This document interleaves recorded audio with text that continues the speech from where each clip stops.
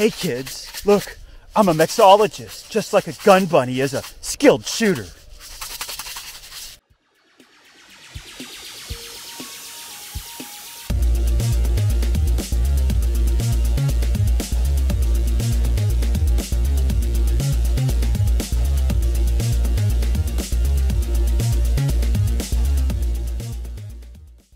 This video is brought to you by Sportsman's Guide, your one-stop shop for all your outdoor needs. Check them out at www.sportsmansguide.com. Hello, my friends, and welcome back to Ordnance Lab. I'm Jake, aka the Mad Scientist, aka Low Budget Imhotep, which I rather like. That's a pretty good nickname ever since I started shaving my head. Uh, I'm, I'm sticking with that one. And of course, we're going to keep calling Sean Discount Jim Carrey because, you know, it's pretty fitting. But, anyways, welcome back to the channel. And for those of you who are new to the channel, hey, welcome to Ordnance Lab because it's basically your one-stop shop for, you know, things that go boom, exotic weapons, really bad jokes, world domination uh, obsessed cats, and really goofy Labradors. But then again, that implies that there's some type of serious Labrador, and you know, from my experience, there is no serious Labradors. So today's video came about through the request of numerous viewers asking, can tannerite form a shaped charge?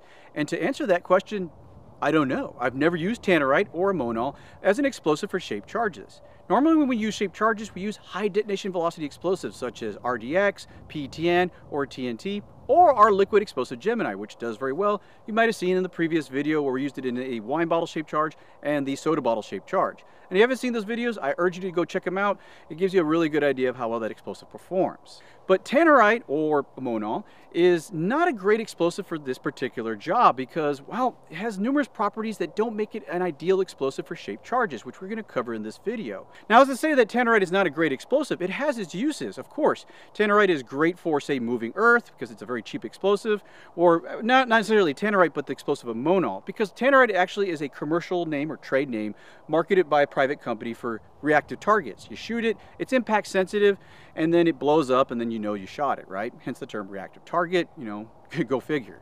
But ammonal, the explosive itself, because it has a lower detonation velocity than, say, RDX or TNT, is not the best choice. Plus, the other big problem is the hygroscopic nature of ammonium nitrate. It likes to absorb water, and it makes it very difficult to grind down to a fine powder which also makes it difficult to get a adequate mixture with the fuel, in this case aluminum. And because of that, it is very difficult to get a perfect homogeneous mixture without any inconsistencies, which we're gonna pack into a shaped charge, which we're gonna show in this video.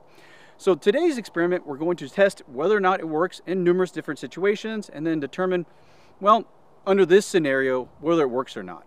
But before we get into that, we need to discuss some legality things because of, you know, lawyers and stuff and whatnot. So Sean's going to discuss why you can purchase tannerite without a federal explosive license, but you can't say walk into a store and buy TNT, which I'm pretty sure a lot of people would love to, but, you know, it's just not the thing. So let's cut over and talk to Sean. All right, so Jake invited me to come on here and talk about the legalities of tannerite. One thing we want to make sure is that I'm definitely not a lawyer, even though I've been deemed an expert witness on explosives in federal court, but that's a whole other story. If you need expert witness services, we can provide those. Nice little advertisement. But anyways, the way that things work with uh, binary explosives is that there's no federal regulation on the manufacturing of it, provided you're doing it for non-commercial reasons. So if, hey, you and your buddies are out there going, you know, you got a shooting competition and you want to put three pounds of tannerite in the lawnmower and shoot it, hey, as long as you're doing that for your own private reasons, totally legal to go out there and do that. But if you were to transport it or store it or transfer it, that's when you need the explosives license, or you'd want to start using it for commercial purposes. So, like for FPS Russia, one of my understanding is that the way that the ATF started looking at him was that they were making tannerite without having an explosives license. So you and your homeboys sitting out on the farm shooting tannerite on your own, totally legal.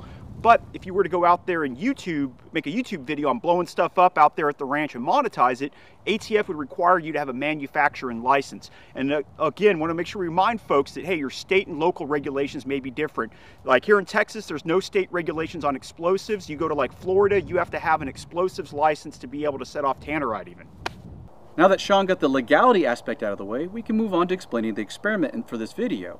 So what we're going to do is we're going to detonate four shaped charges. I made four identical, or as close as I can to identical. There's some variables in this, the, the amount of glass I had to cut, as well as say, for example, cutting the PVC.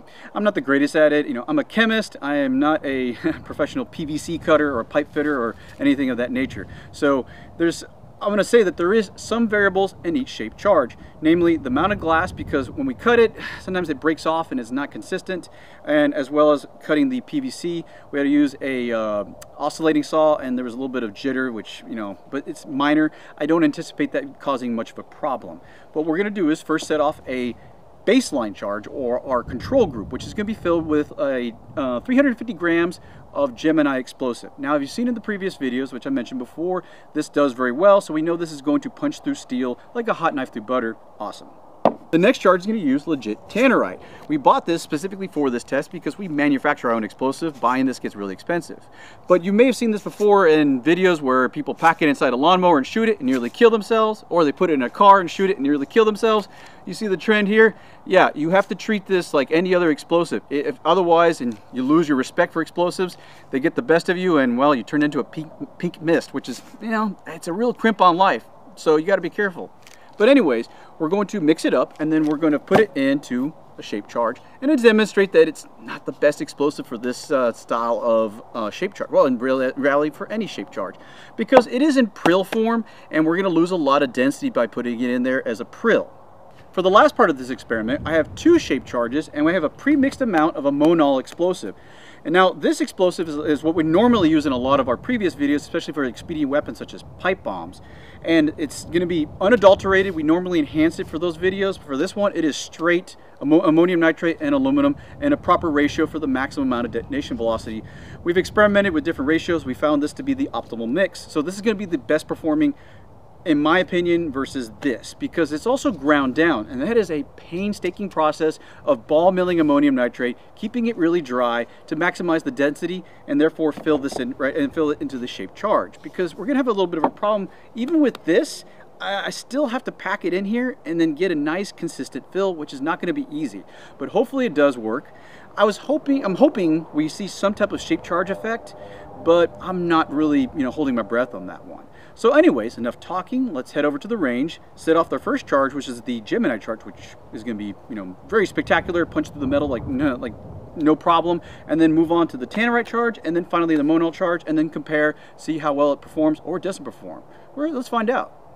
Our baseline is going to be a shape charge with Gemini liquid explosive. We're going to fill this with 350 grams and then set it off against this plate of steel here and then take a look at the effects. Obviously it's going to work very well, but we want to use this as the baseline so we can compare it against the tannerite charge. So we're going to fill it up, uh, put a uh, blasting cap in it, and then set it off. So let's watch this thing go off.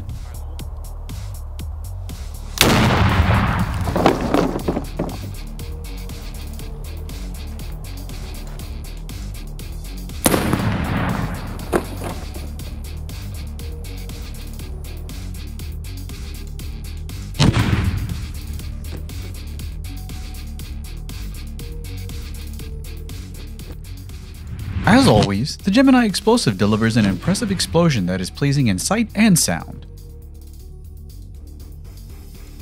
As we review the video from the high-speed camera, we can see the detonation wave traveling through the shock tube as it heads to set off the blasting cap. Now that is pretty cool. Despite recording at just over 2000 frames a second, it is tough to capture the explosion in extreme detail frame by frame.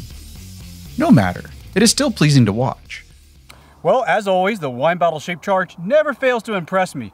This hole is gnarly, and we only used 350 grams of the explosive, and yet it punched through the steel like it was nothing. I mean, look at that. That is beautiful. And not only that, it went further into the ground, a solid 7 inches or 18 centimeters. So it means it still had plenty of energy past the metal plate into the ground. And this is hard packed clay. It's not easy to dig up. So it shows you the, the power of these shaped charges. Now that we have this as the baseline, let's move on to the uh, legit tannerite shape charge. And then after that, we'll do two charges with the ground down ammonal and see how it compares. And we'll do it on the same plate so we have a comparison. Now, once again, I don't anticipate it penetrating this or really shape charging, but we'll see. I might be wrong. Hey, sometimes I am. I, I have no problem admitting it.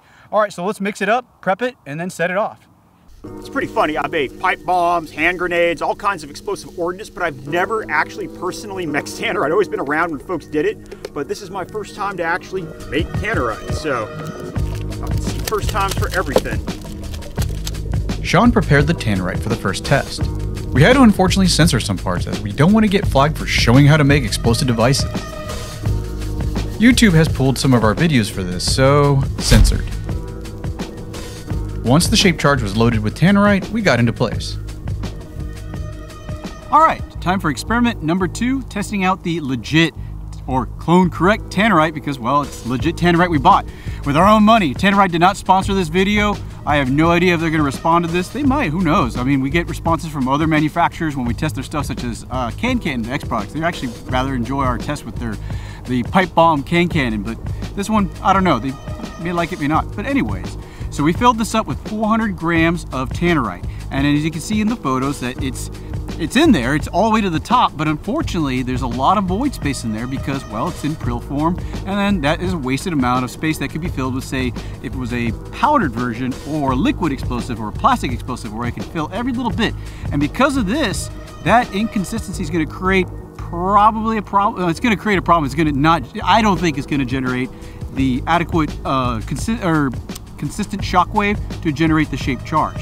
We did as best we can to keep this nice and uniform, have this, the blasting cap dead center, and we're gonna place it right here next to the very successful wine bottle shape charge with the uh, Gemini and see if it even maybe, uh, we might get some marks on the, on the metal, but I'm not very hopeful. So uh, we have 45 seconds of fuse. That gives us enough time to get back to our blast site. Let's see if this thing actually works.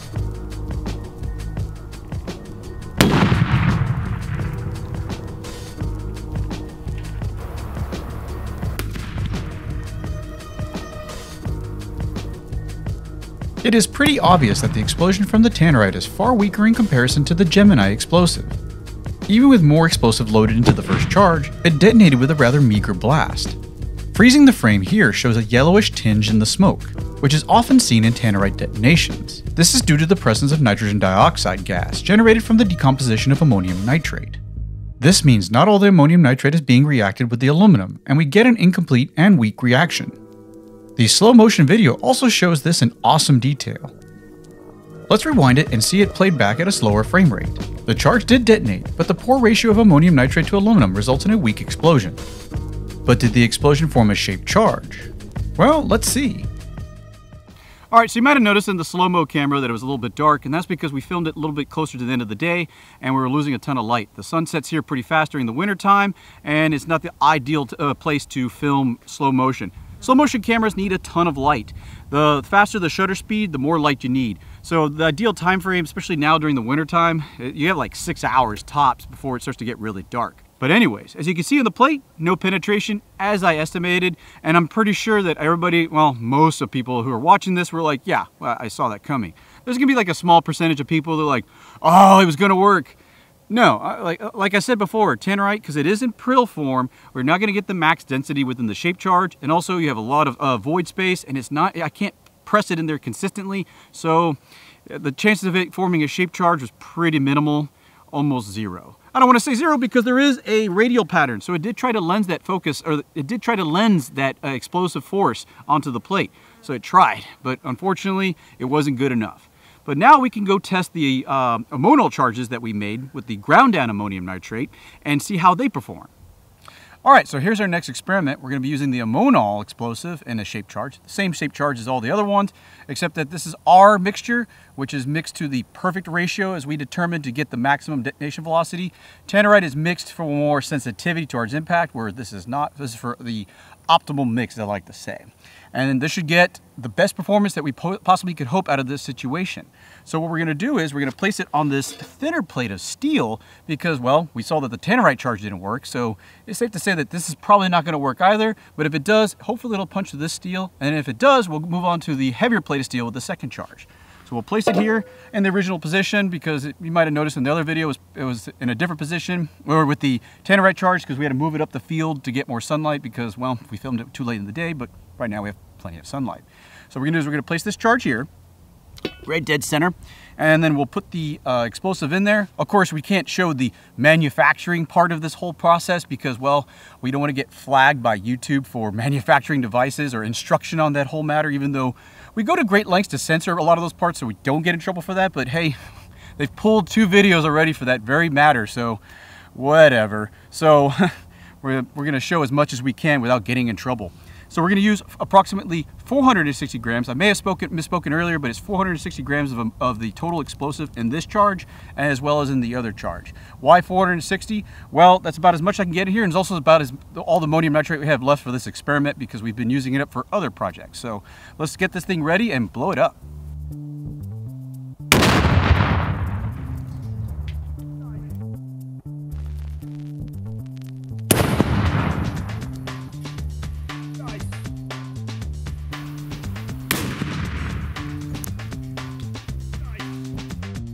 Despite being chemically similar to tannerite, the powdered ammonal explosive detonated with a far more powerful blast.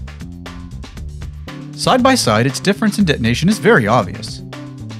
The slow motion shows an impressive detonation wave. Notice the absence of the orange-red tinge in the smoke, a solid indication of a balanced and complete reaction. Well, skin me alive and call me luggage, as Sean would say in his Texas drawl, but uh, hey, I was wrong and I got no problem admitting it. As you can see, the plate punched right through, or the shape charge punched right through the plate, and has this really gnarly uh, asymmetrical hole. Normally with the shape charges, you get a pretty symmetrical, fairly symmetrical hole. This one is, uh, looks like somebody punched it literally with a fist and like Colossus, but uh, still successful. Now this means that the ammonal works and we had to go to great lengths to grind it down, keep it dry, mix it, get the right ratio. Whereas with the tannerite, we were not, we had nowhere close to this kind of performance. Now, now that we see that this works, let's upgrade to the thicker plate of steel and see how it performs.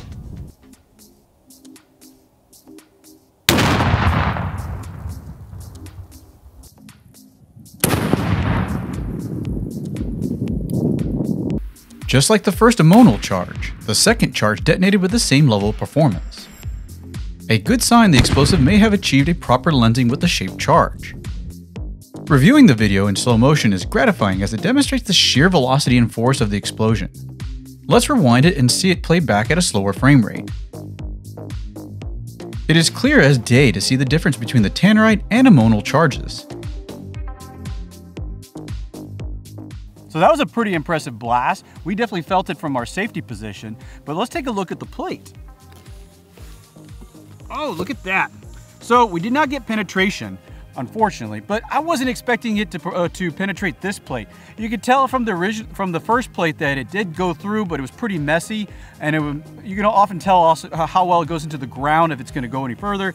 It only went a couple centimeters into the ground, which meant that it was pretty much out of energy once it went through that metal plate. This one, it went, it left a nice, almost circular mark uh, an impression into the metal and it warped it on the backside. So still, it did lens, it did form a shaped charge, but it was not powerful enough to penetrate this plate. But you can obviously see compared to the Gemini, the Gemini had no problem going right through. The Ammonal did not. So it's safe to say that yes, Ammonal did work in this case. Uh, I mean, yes, they're improvised shaped charges and you know a more uh, refined shape charge, say a 3D printed one or a machine one might do better, but in this case, it does work, but not ideally. But still, that's pretty impressive, especially since this is a pretty thick plate of steel and was able to do that. And it has, you can see the leftover glass that's that hit the metal and then resolidified. So yeah, still pretty impressive. Well, so what did we learn in this video? Well, that Tannerite is not the best explosive for shaped charges. But it is good for lawnmowers. Absolutely. Uh, it's great for people who are trying to yeet themselves out of society or at least lose a leg or worse. I mean, as, you, as I mentioned before, there's a common commonality in all these videos where people, use Tannerite to blow up cars or blow up lawnmowers. You either nearly die or I'm pretty sure somebody has died in the process. Yeah, so yeah. one of the things that we oh, even though we do make fun of tannerite as peasant dust or whatever, that's more of just a joke um, for us to flex on the pores, as people like to say. But this stuff right here, like, don't don't underestimate the, the danger of it if you're too close to it. They recommend, I believe, a 100 meter standoff per um, pound or something like that. We don't really read the instructions. Minimum But, for that, Yeah, yeah. like this is something that you do want to have that far away. That um, if you sit there and shoot it too close, you can kick up rocks and all kinds of stuff. It's just again, it's make sure that you are using caution to avoid those Darwinian consequences. But it, even though it doesn't work for that, uh, Jake's Gemini, which is similar to that, does actually work pretty good. You can see that it yeeted this thing right here out of existence. What was that? One eighth steel. Yeah, so this is 1 8 steel, and when we mixed up the ammonal, it worked out great by grinding down. And this is the, the points I also want to point out in this video is that one, tannerite does not work in a shape charge fashion, and that to make it work, you have to grind it down, and that took a while. It took several days of grinding because the problem is, though, is as you grind it, and it goes to a powder, I, even in a sealed container, it was starting to absorb water. So I had to grind it in sections, then dry it, grind some more, then dry it, and it, it, was- it was three days. It's a lot of work. It's like Buddy Needon, and Yeah. um, he's always sitting there doing that. But you can see that it worked um, really well compared to the tannerite. That work you put into there uh, to do it. Yeah, so I mean, it, it managed to completely bend this one eighth into a U. I think that's pretty impressive. But- and Even though it's destroyed, what?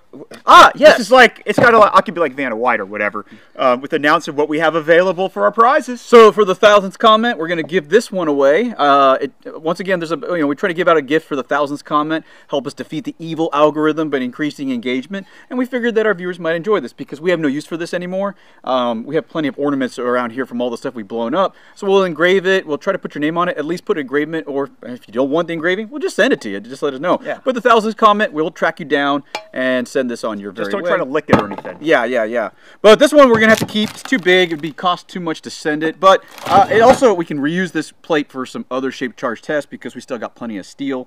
But it, you know, it has an excellent comparison of the the uh, the ammonal charge that did not penetrate, but it did warp the plate. That's which a lot of steel to warp. yeah, that's still pretty impressive versus the Gemini, which punched right through. And like I said, you always want to opt for the highest detonation velocity for explosives. This is an excellent example. Provided you're going to punch through something Right. versus like if you're going to do like earth movement or whatnot. Right, so like lower detonation velocity explosives are very popular for the in the in the uh, land engineering uh, side of things, where you're trying to move a large amount of earth. They tend to be cheaper too, you know, price per quantity. If you want to delete a grid square, you don't go out there and get like shaped charges and whatnot. Yeah, that's just not efficient. You got to use the right explosive for the right job and then employ it correctly, which is very important. So things to consider here is that one, tannerite being yes, a weaker, high explosive, still needs to be ta- uh, treated with you know utmost respect. It can cause some harm, as seen in previous videos, but not ideal for shape charges. So it doesn't work. Of course, could there be a way to make it work in a shape charge? Possibly, but we've shown that it's not the best situation for this particular explosive. But it can be eventually converted via into a powder and then mixed adequately to uh, form a correct shape charge, but it's not the most effective shape charge. Yep. All right. Well, hey, hopefully y'all found this video interesting, and we'll make sure to like and subscribe, and we'll see y'all next time here at Ordnance Lab. Thanks for watching. If you like this video, be sure to hit the like button. Hit subscribe if you want to see more, and stay tuned for another episode here at Ordnance Lab.